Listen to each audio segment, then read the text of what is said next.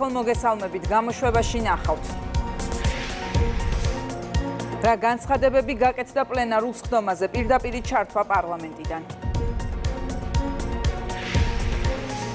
ევროსაბჭოს რეზოლუცია და ნაციონალური მოძრაობის მოქმედებები.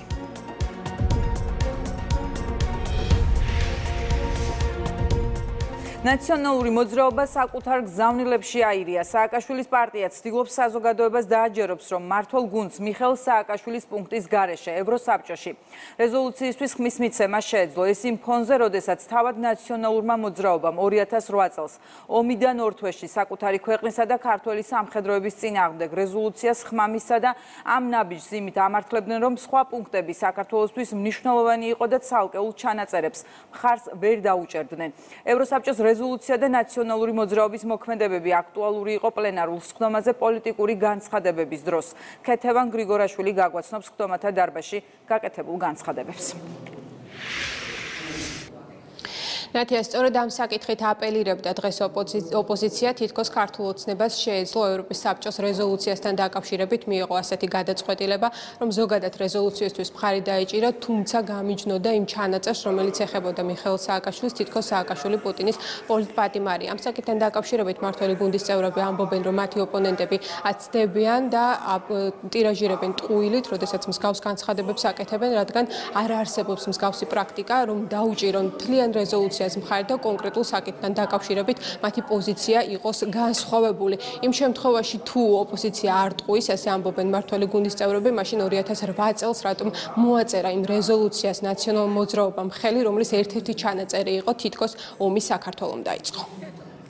ნაციონალურმა მოძრაობამ და უკრაინის რადას დეპუტატთა ჯგუფმა ევროპის სახალხო პარტიის მხარდაჭერით ზუსტად ბოლო წუთში შეაპარეს შესწორება სადაც ფრჩხილებში მსჯავრდებული სააკაშვილი არის მოხსენიებული. 650 პარლამენტარისგან შემდგარ ევროპის საბჭოს საპარლამენტო ასამბლეაში ინიციატორებმა ისარგებლეს დეპუტატთა უდიდესი უმრავლესობის არ ყოფნით და საკუთარი მხარდამჭერების მობილიზებით 56 ხმით მხარი დაუჭირეს ამ აბსურდული დამატების შეტანას რეზოლუციის ტექსტში. 2008 წელს თქვენ რომ გემოქმედა ჩვენი ქვეყნის ინტერესებიდან გამომდინარე, როდესაც მხარი დაუჭირეთ 1633 რეზოლუციას და მასში ასახულ მეხუთე პუნქტს, საზოგადოების ჩვენი გმირი ჯარისკაცების და რუსეთის აგრესიის შედეგად დაღუპული ადამიანების სულისა და მათი ოჯახების წინაშე ასეთი შერცხვენილები არ იქნებოდით. ამ რეზოლუციაში დაფიქსირებული იყო საქართველოს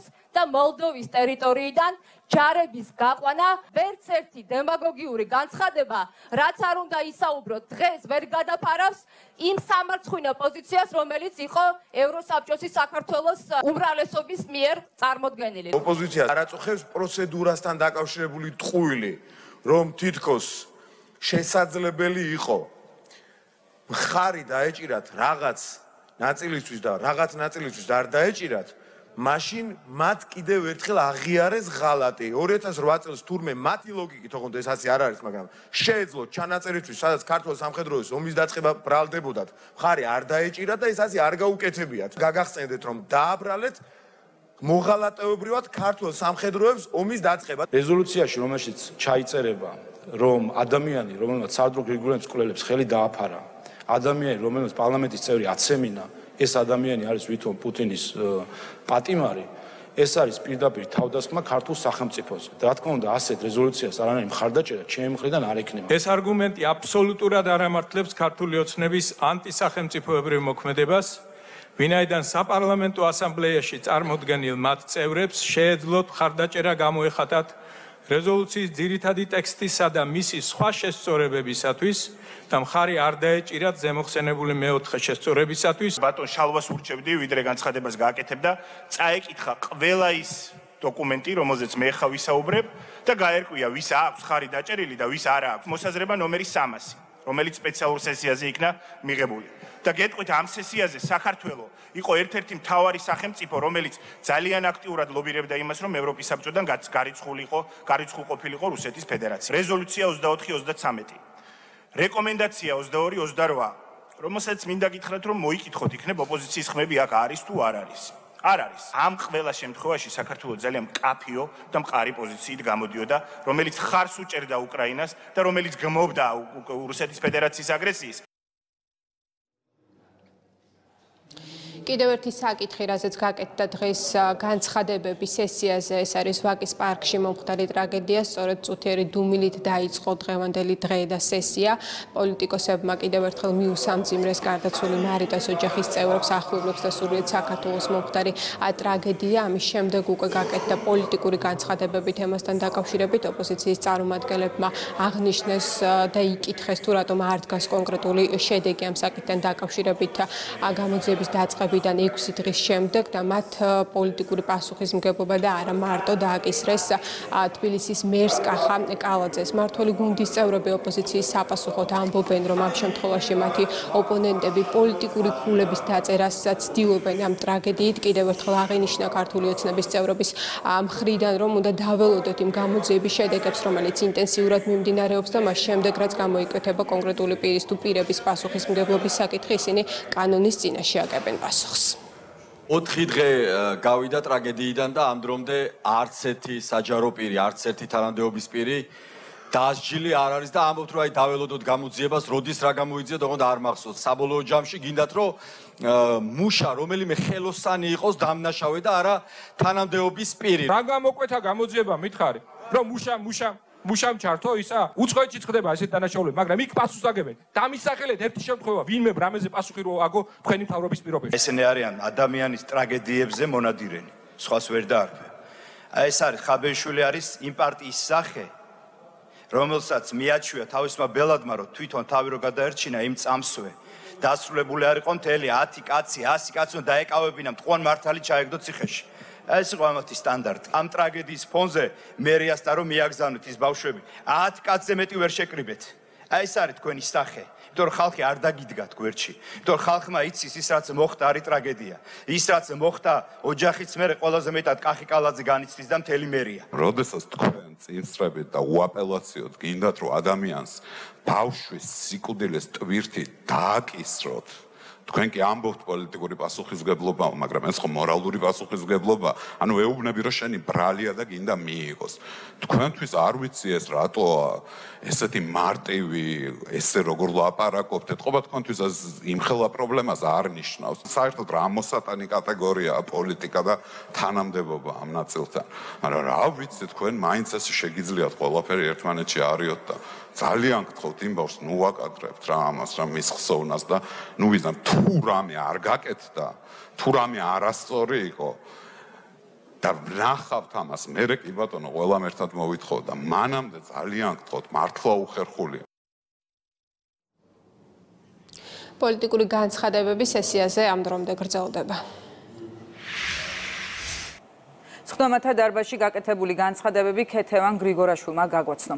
შეცვლილ რიტორიკაზე რა პასუხი აქვს ნაციონალურ მოძრაობას და ამჯერად როგორ ამართლებს სააკაშვილის პარტია 2008 წელს ომიდან ორ თვეში რეზოლუციის მხარდაჭერას, რომელიც ქვეყნის ღალატად უკვე შეფასდა. გიორგი აბაზაძე არკვევს დეტალებს, გიორგი, რას ამბობენ ნაციონალური მოძრაობის წევრები?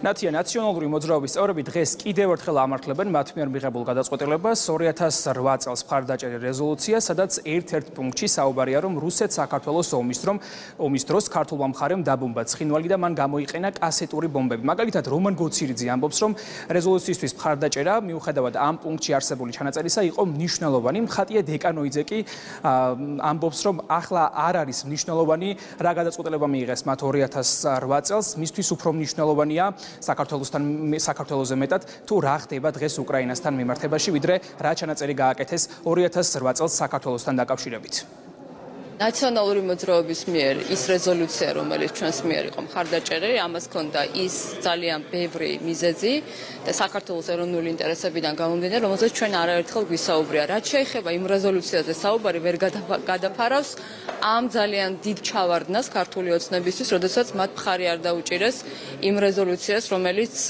არის უნიშნულოვანესი. ისინი უნდა მოქცეულიყვნენ, როგორც მოიქცა 2000 8 წელს ნაციონალური მოძრაობის დელეგაცია დაუჭირეთ მხარი რეზოლუციას, რომელიც აუცილებელი იყო ჩვენი ხმების გარშე შეიძლება ვერც კი გასულიყო, თუმცა ჩვენ არ ვეთანხმებოდი ზოგიერთ მუხლებს და პოლიტიკური განცხადება გავაკეთეთ უჭერთ მხარს, თუმცა არ ვეთანხმებით ამ მუხლს. ამათაც ასე უნდა გაეკეთებინათ რეზოლუციის უნდა დაეჭირათ მხარი იურიდიულად და პოლიტიკურად უნდა ეთქვათ, რომ რეზოლუციის რომელიღაც ნაწილს ისინი არ ეთანხმებიან. თუ ოპოზიცია აპელირებს, რომ ქართულ ოცნება შეეძლო რეზოლუციისთვის მხარდაჭერა კონკრეტული პუნქტის გარეშე, მაგალითად მხარი არ დაეჭირა იმ ჩანაწერისთვის, სადაც ნახსენები იყო მიხელ სააკაშვილი, ეს არის ტყუილი ქართული ოცნების თავმჯდომარის თქმით, რადგან ირაკლი კობახიძე ამბობს, რომ თუ შესაძლებელი იყო, რომ რეზოლუციის კონკრეტული პუნქტისთვის არ დაეჭირათ მხარი, მაშინ რატო არ მოიქცა? ასე ნაციონალური მოძრაობა 2008 წელს და რატომ არ გააპროტესტა ის პუნქტი, სადაც ხაზგასმულია, რომ ქართულმა მხარემ გამოიყენა კასეტური ბომბები და მან დაბომბა ცხინვალი. რაც შეეხება რეზოლუციას, ამ რეზოლუციას აქვს ქართული ოცნების არის პოლიტიკური მხარდაჭერა, თუმცა სახელმწიფო გუნდში თავიდანვე ამბობდნენ, რომ მათთვის პრინციპულად მიუღებელი იქნებოდა დოკუმენტზე მხარდაჭერა იმ შემთხვევაში, როდესაც აქ ნახსენები იყო მიხელ სააკაშვილი. როდესაც საბოლოოდ გამოდის კენჭისყრაზე რეზოლუცია, მას კენჭი ეღრება ერთიანად.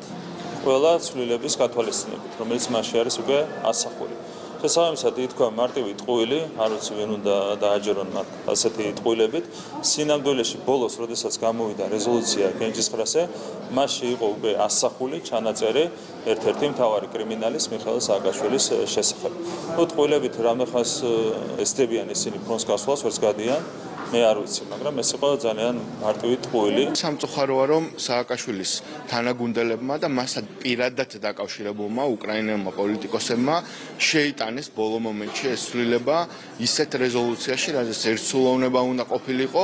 სააკაშვილის საკითხის შემოტანით მათ მნიშვნელოვნად შეამცირეს ამ რეზოლუციის მხარდაჭერა. ოპოზიცია იქაც სრულობს, როცა ამბობს, რომ მხარდაჭერა შეიძლებოდა პუნქტის გამოკლებით, თუ ასეთი რამ ევროპის საბჭოს რეგლამენტით არ არის გათვალისწინებული, მაგრამ თუ ასეთი რამე შესაძლებელი იყო, მაშინ აგვიხსნას ისევ ამ ოპოზიციამ 2008 წელს, როდესაც მხარი დაუჭირეს ომთან დაკავშირებულ რეზოლუციას, რატომ არ ამოიღეს და რატომ არ მიუთითეს იქ, რომ არ ეთანხმებოდნენ საქართველოს მიერ ომის დაწყების ბრალდების პუნქტს ევროპის საბჭოს საპარლამენტო ასამბლეის უკრაინის მხარდამჭერ რეზოლუციაში ცვლილება დაამტკიცდა გასულ კვირას, კონკრეტულად ევროპის სახალხო პარტიის ინიციატივით ნახსენებია დოკუმენტში როგორც პოლიტპატიმარი სააკაშვილი. პირდაპირ ეთერში გიორგი აბაზაძე საუბრობდა. პლენარული ხდომა წუთიერი დუმილით დაიწყო დეპუტატებმა ვაკის პარკში გარდაცვლილ. მარიტა მეფარიშვილის ხსოვნას პატივი მიაგეს. პარლამენტის თავმჯდომარე დარწმუნებულია რომ მომხდარის შესახებ გამოძიება ყველა დეტალს დაადგენს.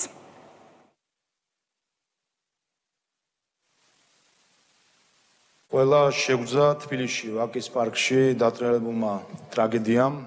ასე დროს თანაგზნობის ყველა სიტყვა ფერმთალდება მინდა რომ თქვენი და ჩემი სახელით გამოვხატო იმ წუხარების თანაზიარება, რომელსაც განიცდიან მარიტა მეფარიშვილის ოჯახის წევრები, ნათესავები, მეგობრები. მე დარწმუნებული ვარ, რომ მიმდინარე გამოძიება ყველა დეტალს დაადგენს, თუმცა ამ ტრაგედიას სამწუხაროდ აღარაფერი ეშველება. გთხოვთ წუთიერი დუმილით პატივი მივაგოთ მარიტას ხსოვნას.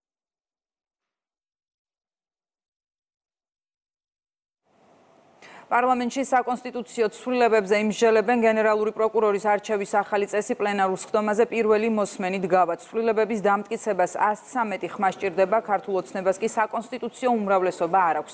შესაბამისად, ევროპული რეკომენდაციის შესასრულებლად საჭიროა ოპოზიციის მხარდაჭერა. ოპოზიციის ნაწილი ცვლილებებს მხარს არ უჭერს გენერალური პროკურორის არჩევის ახალი წესი შინაარსობრივად არ მოსწონს მართლ გუნდს. თუმცა ქართული ოცნება ამბობს, რომ ახლა მნიშვნელოვანი კანდიდატი ქვეყნის სტატუსი წესის მიღება. პროექტით შემოდის დროებითი წესი, მომდევნო ორი მოწვევის პარლამენტი გენერალურ პროკურორს აირჩევს სრული შემადგენლობის 3/5-ის უმრავლესობით თუ ორჯერ ვერ მოხდება არჩევა, ამ შემთხვევაში პარლამენტი გენერალურ პროკურორს ერთი წლის ვადით სრული შემადგენლობის უმრავლესობით დაამტკიცებს. იცით რომ კონსტიტუციის ცვლილებას სჭირდება 3/4-ი 113 ხმა ამიტომ ყველას გთხოვთ რომ მობილიზებული ვიყოთ იმისთვის რომ ამ ცვლილებამ მოიპოვოს 113 ხმა, ვინაიდან ეს გახლავთ ის საკითხი, რომელსაც უმრავლესობა ოპოზიციის დიდი ნაწილის დახმარების გარეშე თავად ვერ გადაწყვეტს. ჩანაწერი მოხდა 12 პუნქტში, რომელიც წარმოგიდგინა ევროპულმა კომისიამ. ნუ რა თქმა უნდა, სამწუხარო კიდევ ხო გაიმერებ, რომ აქ არის არღული სამართლებრივი და მართლობის მართლობითი პრინციპები. თუმცა გამომდინარე იქიდან, რომ ჩვენთვის განსაკუთრებული პრიორიტეტია 12 პუნქტის შესრულება და ევროინტეგრაცია, კანდიდატის სტატუსის მიღება. სწორედ ამის გათვალისწინებით, რა თქმა უნდა, ჩვენ წარმოვადგენ დღეს ამ კანონპროექტს და რა თქმა უნდა, ხარს დაუჭერთ ერთხმად ამ კანონპროექტს. თუ ოპოზიციიდან ვინმე ხარს არ დაუჭერს ამ დოკუმენტს, ამ ყოლაფრის გათვალისწინებით, ხო? ამ შემთხვევაში აშკარა იქნება, რომ ეს ადამიანები მიდიან 12 პუნქტის წინააღმდეგ და კანდიდატის სტატუსის მიღების წინააღმდეგ. ეს ინიციატივა მხოლოდ და მხოლოდ იმისთვის არის დარეგისტრირებული ჩვენს მიერ, რომ ჩვენ კიდევ ერთხელ ვადასტურებთ ჩვენს პასუხისგებლობას საქართველოს ევროპული მომავლის მიმართ, თორემ რეალურად ახლა როგორც არის ეს საკითხი დარეგულირებული კონსტიტუციაში, ის სრულად შეესაბამება საერთაშორისო სტანდარტებს. გადაწყვეტილება, რომ პროკურორი უნდა იყოს არჩეული ხმების გარკვეული რაოდენობით, მიღწეული იყოს უნდა კონსენსუსი. ამ კონსენსუსის მიუღწევლობის შემთხვევაში რასაკურველია უნდა იყოს დაზღვეული იმის შესაძლებლობა, რომ ქვეყანა პროკურორის გენერალური პროკურორის გარეშე დარჩეს. ყველაფერი ეს გათვალისწინებულია იმ პროექტში, რომელიც ქართულმა ოცნებამ შესთავაზა პარლამენტს განსახილველად. ჩვენ გვაქვს იმის ეჭვი, რომ უკვე ვიცით რა სატელიტებმა ასე ვთქვათ, განაცხადეს რომ ამას არ დაუჭერენ მხარე, ეს უკვე არის ლაკმუსი, თუ შეიძლება ასე ვთქვათ, ქართულოსნებას უნდა ამცულებები ჩაგდება. ეს არ არის კარგი. მართლაც არ არის კარგი ერთწლიანი პროკურორის მიღება, მაგრამ ეს არის იმაზე უკეთესი, რა სისტემას მოხვედებს დღეს და ჩვენ აუცილებლად დაუჭერთ მხარს. ნაციონალური მოძრაობა, რომელიც ყველაფერს აპროტესტებს, არაფერს თხას არ უჭერს, არც ერთ ჯგუფში მონაწილეობას არ იღებს, აღმოჩნდა რომ უცბად ამცულებების მიმართ აქვს რაღაცა განსაკუთრებული ინტერესი და მხოლოდ ამცულებებს უჭერს მხარს. ეს კანონი აუარესებს დემოკრატიულ სტანდარტს ქვეყანაში. ეს კანონი აა იძლევა საშუალებას ქვეყანას ყავდეს ერთი წლით არჩეული პროკურორი, რომელიც ანგარიშვალდებული არ იქნება პარლამენტის წინაშე და ანგარიშვალდებული არ იქნება საზოგადოების წინაშე. ქართულ ოცნებას აქვს მიზანი მიაღწიოს იმას, რომ ერთი წლის ვადით აერჩიოს პროკურორი, კენ პროკურორი, რომელიც იქნება სრულად დამოკიდებული ქართულ ოცნებაზე და ამაში გაიამხანაკოს, ასე ვთქვათ, პასუხისგებლობა აღებინოს ოპოზიციას. მე მხარს არ უჭერ ამ ცვლილებას. ჯერა რომ საქართველოს პროკურატურა ამ ცვლილებების მე ზუსტად ისეთივე იქნება, როგორც ცვლილებამდე იყო. ანუ მარტივად ვთქვათ ეს სულები არაფერს არ შეცვლის, მაგრამ ჩვენ როგორც კონსტრუქციულმა ძალამ, რომელიც პროცესში ღებულობს მონაწილეობას და თან ჩვენ ვართ ხელმომწერი შალ მიშელის დოკუმენტი, სადაც ამ საკითხს ასევე ხაზი ქონდა გასმული, ჩვენ რა თქმა უნდა ხარს დავჭერთ. პარლამენტი ევროპული რეკომენდაციის მეორე პუნქტით გათვალისწინებულ საკითხებზე მომზადებულ რეგლამენტის პროექტს განიხილავს ცვლილებების სესიაზე მეორე მოსმენით გავა. პროექტით კომიტეტის ხდომაზე თანამდებობის პირების სავალდებულო მოსმენის საკითხს პერიოდულად საპროცედურო კომიტეტი შეისწავლის. მცირდება დეპუტატის კითხვაზე პასუხის გაცემის ვადა 15-დან 10 დღემდე. ინტერპელაციის წესით ადრესატის დაბარება შესაძლებელი ხდება ყოველთვიურად. მინისტრის საათის ფარგლებში კი მთავრობის წევრი ვალდებული ხდება გამოსვლამდე პარლამენტს მოხ მოხსენება წერილობითი ფორმით. 5 დღით ადრე წარუდგინოს. ერთ დღეს ორზე მეტი მინისტრის საათის გამართვა იკრძალება. ცვლილებებზე შეფასებებს მაკა აბულაძე გაგვაცნობს. ნათია, როგორც თქვენც აღნიშნეთ, საკმაოდ ბევრი ცვლილება განხორციელდება რეგლამენტში და ევროპული დავალების რიგით მეორე რეკომენდაციის მთავარი მიზანი არის სწორედ ის, რომ საპარლამენტო კონტროლი გაძლიერდეს. მიუხედავად იმისა, რომ ხელისუფლების ოპონენტები ამბობენ, რომ ეს ცვლილებები გარკვეულწილად კარგია, მათ შორის ის, რომ იცვლება ინტერპელაციის წესი, ასევე თანამდებობის პირების საკანონმდებლო ორგანოში გამოცხადებას გააკონტროლებს შესაბამისი კომიტეტი, მიუხედავად ამისა, მათთვის ეს საკმარისი არ არის იმისთვის რომ ცვლილებათა პაკეტს მხარი დაუჭირონ. რაც შეეხება ოპოზიციის მეორე ნაწილს, აქ ამბობენ რომ ცვლილებები კარგია, მექანიზმის გაუმჯობესებისკენ გადადგმული ნაბიჯებიც კარგია, თუმცა მათი თქმით უნდა არსებობდეს ნებამმართველი პარტიის მხრიდან რომ ეს მექანიზმი მუშაობდეს წინააღმდეგ შემთხვევაში ოპოზიციის ეს ნაწილი ფიქრობს რომ ეს ცვლილებები მხოლოდ ცვლილებებისთვის განხორციელდება. დღესაც არსებობს საპარლამენტო კონტროლის მექანიზმები. პრობლემა მდგომარეობს იმაში, რომ ამ ხალხს არ უნდა საპარლამენტო კონტროლის განხორციელება ჩვენს კოლეგებს. და შესაბამისად, როცა არ გინდა, რაც არსებობს იმ მექანიზმების გვერდისავლისკენ ხარ მიდრეკილი, თორე ახალ მექანიზმებს ხო არ ჩართავ. ამიტომ პრობლემა ის კი არა, რომ არ შეუძლია პარლამენტ საპარლამენტო კონტროლის განხორციელება, რომ არ უნდა, ეს არის პრობლემა. რამდენადაც ეს სრულებები აუმჯობებს საპარლამენტო კონტროლს, იმდენად საკონსულსო სრულებები ძირს უთხრის საპარლამენტო კონტროლს იმ წესის შემოტანით კონსტიტუციაში, რასაც დღეს ქართული ოცნება და ნაციონალური მოძრაობა ერთად უჭერს მხარს. საუბარი ერთი წლით გენერალური პროკურორის არჩევაზე. ასე რომ, მე მგონი პოლიტიკური კლასი, ეს ორი პარტია უნდა ჩამოყალიბდეს, მართლა უნდა საპარლამენტო კონტროლის გაძლიერება თუ უბრალოდ მოჩვენებიდან თუნდაც რაღაც ცვლილებების გაკეთება. ოდესმე ამ პარლამენტს რაიმეზე ასე ვთქვათ, ზედამხედველობა განახორციელებია აღმასრულებელ ხელისუფლებაზე.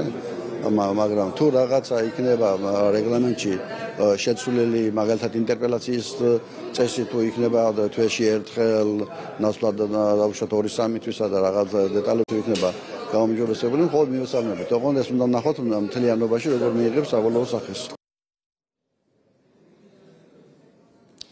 სანამ ოპოზიცია ფიქრობს მმართველ პარტიაში, მათ პრეტენზიებს სპეკულაციები უწოდეს პარტიის თავმჯდომარემ დღეს განმარტა, რომ თავი რომ დავანებოთ სხვა ბევრცულებას, რომელიც განხორციელდება რეგლამენტში მხოლოდ ის ფაქტი, რომ იცვლება ინტერპელაციის წესი სივრცე სპეკულაციებისთვის აკრობს. სახელმწიფო გუნდის თქმით, რეგლამენტში შესატანი ცვლილებებზე მუშაობისას ჩართული იყო ყველა მხარე მაქსიმალურად გათვალისწინებული იქნა ყოველს პოზიცია და საბო საბოლოო ჯამში უმრავლესობის წევრების თქმით მიღებული იქნა ცვლილებათა ისეთი პაკეტი, რომელიც პასუხობს იმ თავარ დავალებას, რაც ბრიუსელიდან საქართველოში გამოიგზავნა. ქარის თელი ფუნდამენტური ცვლილებები წარმოქმნილი სხვა საკითხებზე რო არ შევაჩერო ყურადღება ორმაგდება ინტერპელაციების რაოდენობა. აქ საბაბიც კი არ არსებობს იმისთვის რომ ასეთი სპეკულაციები მოაყოლონ ამ კანონპროექტს, თუმცა ნუ აქაც ახერხება ნაბიჯს. მათი პრობლემა რაც შეეხება ჩვენს პოზიციას, ჩვენი პოზიცია არის ის, რომ ფუნდამენტური ნაბიჯები უნდა გადაიდგას წინ იმისათვის, რომ გაუმჯობესდეს ზედამხედველობის პრაქტიკა საქართველოს პარლამენტში, მათ შორის აღმასრულებელი ხელისუფლების მიმართ და ეს მიდგომა არის პირდაპირ ასახული რეგლამენტის პროექტში. ერთ-ერთი რეკომენდაცია იყო საპარლამენტო კონტროლის მექანიზმების გაძლიერება.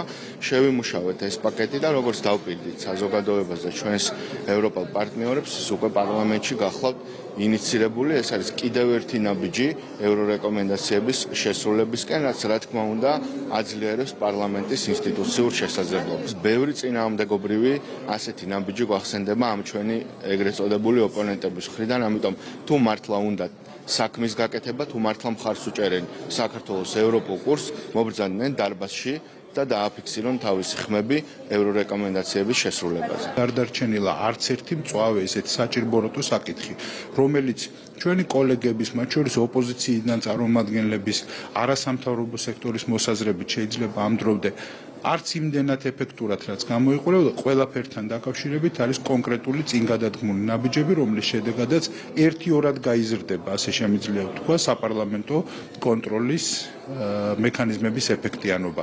ყოველ შემთხვევაში ასეთი ვარაუდი გვაქვს ყველას არამხოლოდ მართლ პარტიას და ძალიან დიდი ალბათობით ეს მოიპოვებს კიდე სრულ მხარდაჭერას რეგლამენტში შესატანცულებების პაკეტი მეორე მოსმენით დღეს გადის პლენარულ სესიაზე კონკრეტულად ვინ არ დაუჭერს ოპოზიციიდან მხარს? მომზადებულ კანონპროექტს ეს კენჭისყრის დასრულების შემდეგ გვეცოდინება. რეგლამენტის პროექტზე შეფასებები მაკა აბულაძემ გაგვაცნო ზურაბ ადეიშვილი სტრასბურგში უკრაინაში ომის დანაშაულების გამოძიების დახმარებისთვის ევროსაბჭოში ექსპერტთა საკონსულტაციო ჯგუფი შეიქმნა და შეხვედრებს ადეიშვილის ესრება. სოციალურ ქსელში გამოქვეყნებულ ინფორმაციას. უკრაინის რადის დეპუტატს უკვე უპასუხეს მათ შორის ჰელსინკის კომისიის წევრმა დაწერა რომ ეს ფაქტი ბევრი ქართველის აღშფოთებას იწვევს. რა შეფასებები მოხვა ზურაბ ადეიშვილის გამოჩენას ჯგუფის ხდომაზე მეგინ არსავიძე გვეტყვის ძებნილი და მსჯავრდებული ადეიშვილი ახლა რომ სხვების დანაშაულებს იძიებს, ამ ფაქტმა არაერთი ადამიანის ყურადღება მიიქცია. მათ შორის ერთ-ერთია ჰელსინკის კომისიის უფროსი პოლიტიკური მრჩეველიც. მაიკლ ჰიკარი ჩეჩირე სოციალურ ქსელ ტვიტერში, რადის დეპუტატის მიერ გამოქვეყნებულ პოსტს აზიარებს, სადაც ჩანს შეხვედრაზე მყოფი ზურაბ ადეიშვილიც. ჩეჩირე აცხადებს, რომ ეს ფაქტი ბევრი ქართველისთვის აღმაშფოთებელია და ადეიშვილის მიერ საქართველოსში ჩადენილ დანაშაულებზეც ამახვილებს ყურადღებას. თუ გაინტერესებთ რა აღაშფოთებს ბევრ ქართველს ასე, ეს არის იუსტიციის ყოფილი მინისტრი ადეიშვილის სახელმწიფო მოღვაწის როლში. მის თანამდებობაზე ყოფნის დროს მოხდა უამრავი დარღვევა, რამაც 2012 წელს ნაციონალური მოძრაობის განდევნა გამოიწვია, მაგრამ ადეიშვილი წლების განმავლობაში უნგრეთში იმალებოდა ვიქტორ ორბანის კალთების ქვეშ. უკრაინა საქართველოს განხეთქილებას უფრო ღრმა არაგეოპოლიტიკური ასპექტი აქვს. ბევრი რიგითი ქართველისთვის, რომელიც ადეიშვილის მსხვერპლია, მისი რეაბილიტაციის ხილვა Khashoggi ბუნებრივია ამ საკითხს გამოხმაურება მოხდა ქართულ პოლიტიკურ სპექტრში. სოციალურ ქსელ ტვიტერში ამის შესახებ დაწერა ევროინტეგრაციის კომიტეტის თავმჯდომარის მოადგილემა ლევან ქარუმიძე ამბობს, რომ სხვისი დანაშაულების გამოძიებამდე ადეიშვილმა ჯერ საკუთარზე უნდა აგოს პასუხი. ზურაბ ადეიშვილი რომ ადამიანის უფლებებს იცავს, ეს მართველი პარტიისთვის ტრაგიკული და ცინიკურია. ხუთ სიცხლის სამართლის საქმეში დამნაშავედ ცნობილ ადეიშვილს უმაღლეს უმაღლეს უმაღლესი დონის პროფესიონალს უწოდებენ ნაციონალურ მოძრაობაში. დეიშვილი არის უმაღლესი დონის პროფესიონალი და ამ შემთხვევაში თუმცა ბევრ საქმეზეა ბრალდებული, მჭამდებული. ადეიშვილი იქ მიწვეული არ არის, იმათ რა ქვია, პროკურორად ის არის ექსპერტი, რომელმაც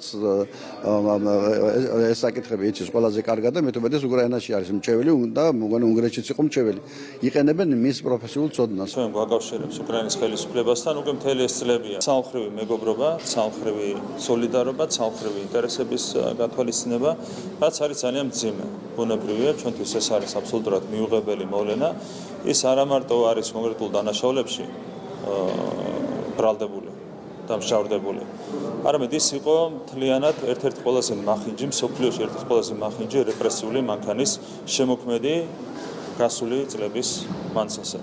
როდესაც ასეთი ადამიანი, რომელიც ფეხქვეშ თელავდა ადამიანის უფლებებს, აყალიბებდა რეპრესიულ მანქანას, იყო ბიზნესის რეკეტის სათავეში და შემდეგ, როდესაც ასეთი ადამიანი დღეს დადის საერთაშორისო სტრუქტურებში უკრაინის ხელისუფლების სახელით, ეს არის რა თქმა უნდა ძალიან მძიმე მოვლენა. თუმცა ნუ რას ვიცამთ, ეს სამხრივი მეგობრობა გაგრძელდება. სასაცილო არ არის სურაბადეიშვილის საუბარი ადამიანის უფლებებზე. ეს არის დიდი ტრაგედია, რომელიც სამწუხაროდ ახასიათებს ჩვენ დღევანდელობას.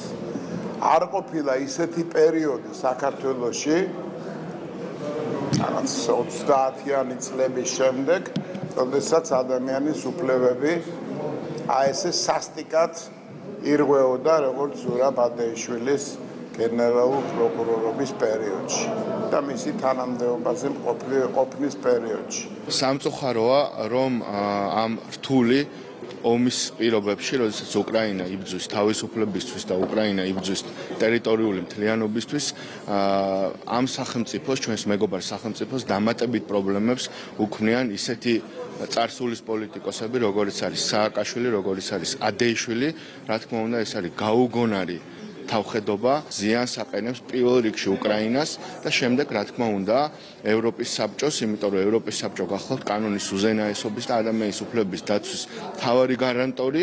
ეს ცინიზმის შემცველია გასაკვირველია და საკმაოდ მაღალი დოზით იმის გათვალისწინებით, რომ ვიცით, რომ თავარი პრობლემა, რომელიც სწორედ ადეიშვილის ხელისუფლების პირობებში ქონდა ჩვენ სახელმწიფოს, იყო სწორედ სამართლის უზენაესობის ფეხქვეშ გათელვა და აქედან გამომდინარე გასაგებია, რომ არ მგონია, რომ ამ შემთხვევაში რაღაცა დიდ მეტამორფოზებთან კონდეს საქმე.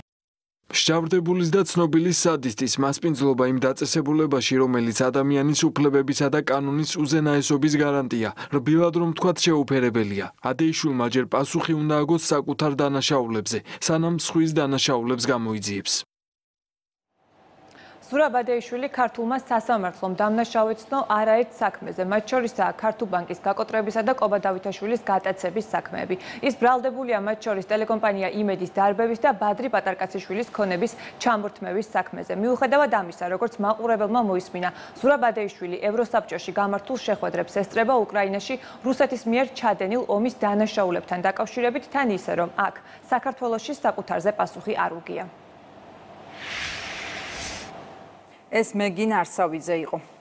საქართველოს პრეზიდენტი მოლდოვის პრემიერ-მინისტრს შეხვდა მხარეებმა განიხილეს არსებული გამოწვევები უკრაინის ომი და მისი გავლენა ეკონომიკურ და სოციალურ საკითხებზე.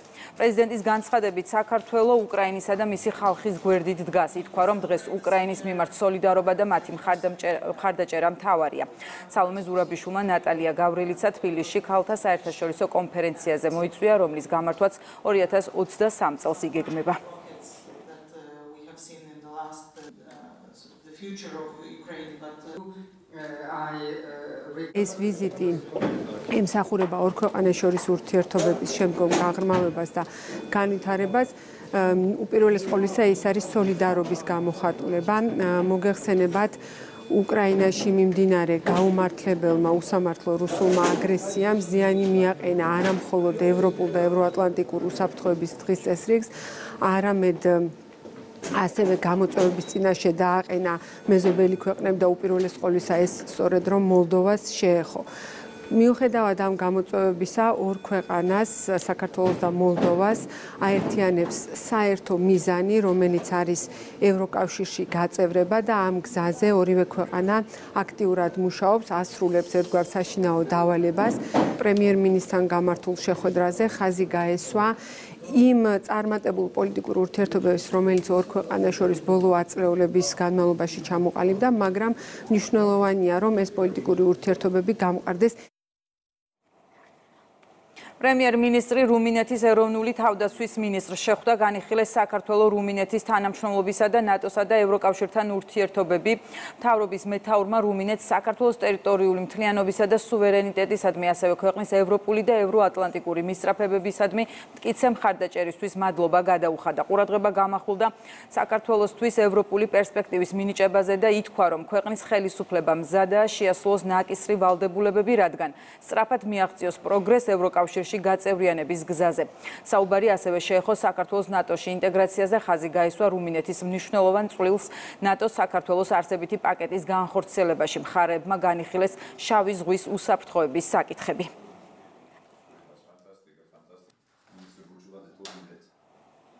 რუმინეთის ეროვნული თავდაცვის მინისტრ საქართველოს თავდაცვის მინისტრი შეხვდა ოფიციალური დახვედრის ცერემონიალი თავდაცვის სამინისტროში გამართა მინისტრებმა რეგიონში არსებული უსაფრთხოების გარემო და გამოწვევები განიხილეს. ჯუანშარ ბურჭულაძემ ყურადღება უწყებაში განხორციელებულ რეფორმებზე გაამახვილა, რაც ალიანსის სტანდარტებთან თავსებადობას ისახავს მიზნად. მან ნატო საქართველოს არსებითი პაკეტით განსაზღვრული ინიციატივების განხორციელების შესახებაც ისაუბრა. ვიზიტის ფარგლებში მინისტრებმა ხელი მოაწერეს თავდაცვის სფეროში თანამშრომლობის შესახებ სტრატეგიული ხასიათის შეთანხმებას, ასევე გაფორმდა თავდასხმის სფეროში ორმხრივი თანამშრომლობის წლიური გეგმა. რუმინეთის ეროვნული თავდასხმის მინისტრმა საქართველოს ტერიტორიული მთლიანობისთვის დაღუპული გმირების მემორიალი გვირგვინით შეამკო.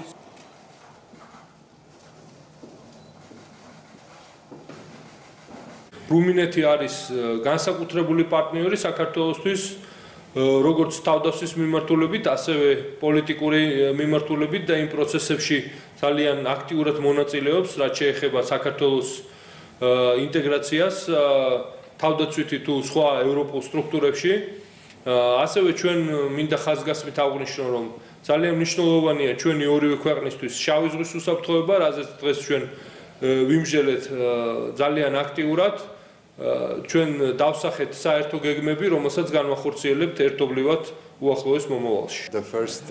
ეს იყო ძალიან მნიშვნელოვანი შეხვედრა. მოხარული ვარ, რომ თავდაცვის საკითხებზე სტრატეგიული პარტნიორობის დეკლარაციის შესახებ პირველი ორმხრივი თანამშრომლობის გეგმას მოეწერა ხელი. ფიქრობ, ეს ნათლად ასახავს, რომ რუმინეთს სერიოზული სტრატეგიული პარტნიორული დამოკიდებულება აქვს საქართველოს მიმართ. ჩვენ შავი ზღვის აუზის ქვეყნებს წარმოვადგენთ და ჩვენი თანამშრომლობა ამ კუთხითაც ძალიან მნიშვნელოვანია.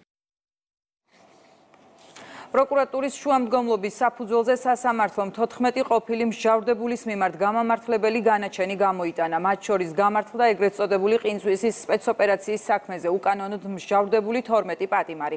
ხელახალი გამოძიებით დადგინდა, რომ 2011 წლის 26 მაისს ყინწვისის სამონასტრო კომპლექსის მიმდებარე ტერიტორიაზე შინაგან საქმეთა სამინისტრომ ყოველგვარი სამართლებრივი საფუძვლის გარეშე ეროვნულ საზღვრებრივი მოძრაობა უფლისა და სამშობლოსთვის წევრები და მათი ახლობლები და დააკავა.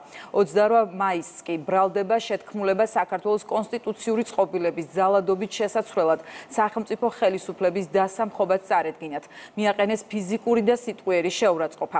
განხორციელებული ზეწოლის შედეგად ბრალდებულებმა აღიარეს არჩადენილი დანაშაული და დათანხმდნენ არსებითი განხილვის გარეშე საქმის საპროცესო შეთანხმებით დასრულებას.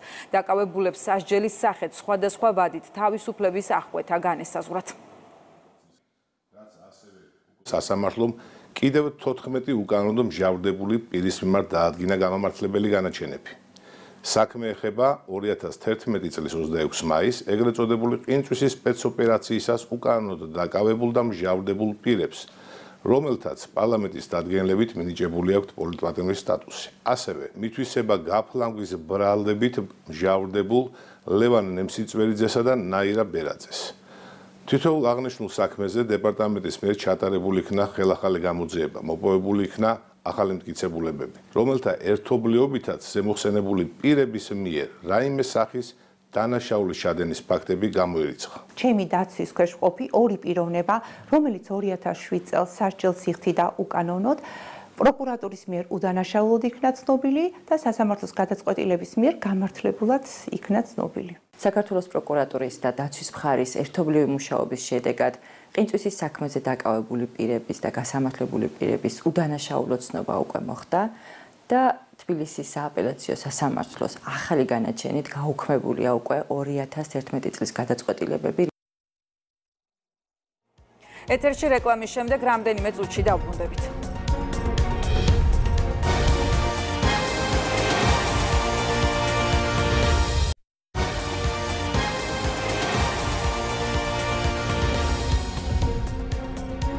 ქრონიკა ისევ ეთერშია და განვაგრძობთ გამოშვებას.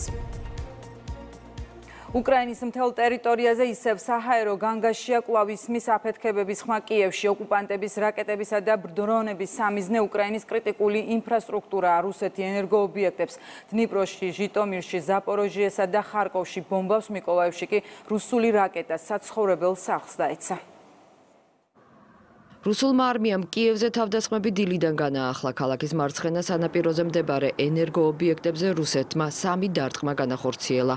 დედაქალაქის ზოგიერთ რაიონში ელექტროენერგიის მიწოდება შეწყდა. აფეთქებების ხმა ისმის კიევის ოლქის ქალაქ ბროვარშიც მასირებული რუსული სარაკეტო იერიშების გამო ელექტროენერგიის გარეშეა დარჩენილი უკრაინის ასობით ქალაქი და დასახლება. ენერგოობიექტები იბომბება ჟიტომირში, დნეპროპეტროვსკის ოლქში, ზაპოროჟიესა და ხარკოვში. აფეთქებების ხმა ისმის მიკოლაევსა და სუმში, სადაც რუსულ თავდასხმებს მშვიდობიანი მოსახლეობა ეწირება. სოფლიოს შეუძლია და მან უნდა შეაჩეროს ეს ტერორი. რუსი ტერორისტების შესაჩერებლად კი ჩვენ მეტი თანამედროვე ჰაერსაწინააღმდეგო სისტემები გვჭირდება. ეს მხოლოდ უკრაინის ინტერესში არ შედის. ამ გზით შესაძლებელია ომის მალე დასრულება. რუსეთს ბრძოლის ველზე გამარჯვების შანსი არ აქვს. ამიტომ საკუთარ წარუმატებლობას ტერორით ფარავს. რისთვის ჭირდება ეს ტერორი? იმისათვის რომ ზეწოლა მოახდინოს ჩვენზე, ევროპაზე, მთელ მსოფლიოზე. ისევ რთული ვითარება ზაპოროჟიეში, სადაც რუსული ავიადარტყმების გამო ელექტროენერგია არ მიეწოდება ატომურ ელექტროსადგურს. რეაქტორები მხოლოდ გენერატორების ხარჯზე მუშაობენ. უკრაინის გენშტაბის ინფორმაციით, მძიმე ბრძოლები გრძელდება ბახმუტის მიმართულებით. უკრაინელმა სამხედროებმა რუსეთის ძალების შეტევები ხარკოვისა და დონეცკის ოლქების 6 დასახლებულ პუნქტში მოიგერიეს. ტერმა გასული დღეღამის განმავლობაში უკრაინის ქალაქებზე 10 სარაკეტო და 58 საავიაციო დარტყმა განახორციელა. ზალპური ცეცხლის რეაქტიული სისტემებიდან 60 ჯერ გახსნა ცეცხლი. ასევე რუსულმა ძალებმა გამოიყენეს ირანული წარმოების 43 უპილოტო საფრენი აპარატი, რომელთაგან 38 უკრაინელმა სამხედროებმა ჩამოაგდეს. რუსეთისთვის უპილოტო საფრენი აპარატების მიყიდვის გამო უკრაინა ირანისთვის მკაცრი სანქციების დაწესებას ითხოვს. კიევი ირანს სამხედრო დანაშაულის თანამონაწილეობაში სდებს ბრალს და საერთაშორისო საზოგადოებას დროული რეაგირებისკენ მოუწოდებს. საპროტესტო აქცია გამართეს უკრაინის მოქალაქეებმა კიევში ირანის საელჩოსთან. ჩვენი ქალაქები ირანული დრონებით იბომბება. დროა საერთაშორისო საზოგადოებამ აღიაროს, რომ რუსეთისთვის უპილოტო აპარატების მიყიდვით ირანი მხარს უჭერს ტერორიზმს. ოფიციალური კიევი კი ამტკიცებს, რომ მათ მიერ განეიტრალებული დრონები იდენტიფიცირებულია და ყველა ირანული წარმოებისაა. ირანი რუსეთისთვის კამიკაძე დრონების გადაცემას უარყოფს. თეირანში გაკეთებულ განცხადებებს სიცრუეს უწოდებენ შეერთებული შტატების პრეზიდენტის ადმინისტრაციასა და სახელმწიფო დეპარტამენტში.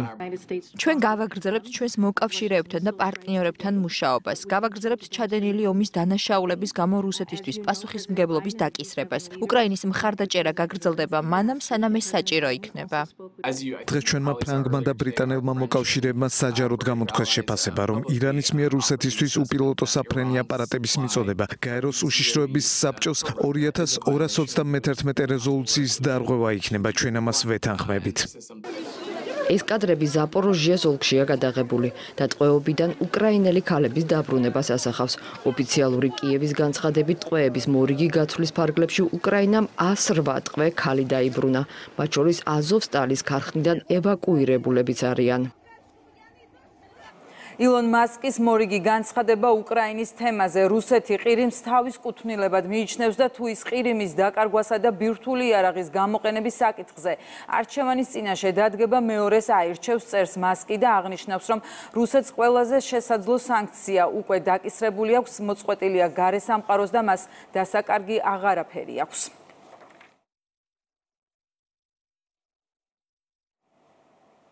მოლდოვაში აქციები დაიწყო ითხოვენ პრეზიდენტისა და მთავრობის გადადგომას ასევე ვადამდელ არჩევნებს. ოპოზიციის მომხრეები უკმაყოფილებას გამოთქვამენ ქვეყანაში შექმნილი ეკონომიკური ვითარების გამო. ინფლაციის მაჩვენებელმა 35%-ს მიაღწია. Как и где мы должны жить, друзья? Так цены подорожали. კრასნოდარის მხარეში ავიაკატასტროფის შედეგად დაღუპულთა რაოდენობა 13-მდე გაიზარდა და შავდა 19 ადამიანი დაღუპულთა შორის 3 ბავშვია.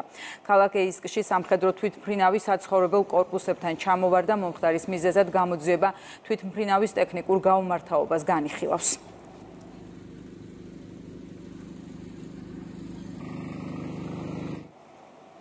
ავსტრალიამ იერუსალიმის ისრაელის დედაქალაქად აღიარების შესახებ 4 წლის წინ მიღებული გადაწყვეტილება გააუქმა ქვეყნის საგარეო საქმეთა მინისტრის განცხადებით.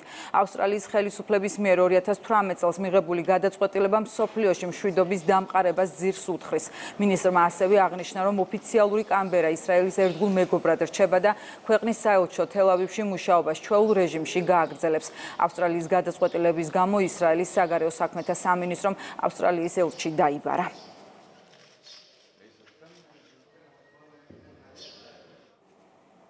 კულტურის, სპორტისა და ახალგაზრდობის სამინისტრომ ანსამბლ ერისიონ 61 ერთეული ტრადიციული სასცენო სამუსი საჩუქრად გადასცა. დაახლოებით 15 წელია სახელმწიფოს ანსამბლებისთვის ახალი სამუსი არ შეუძენია, რის გამოც სამინისტროს გადაწყვეტილებით გამოცხადდა ორი ტენდერი.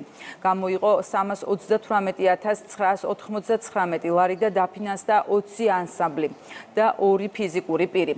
ტენდერში გამარჯვებული კომპანია ფაფანაკი ანსამბლებს ეტაპობრივად გადასცემს მათთვის შეკერილ სასცენო სამუს, რომლებიც კულტურის სამინისტრომ ანზორ ერქომაიშვილის სახელობის ფოლკლორის სახელმწიფო ცენტრთან თანამშრომლობით შეარჩია.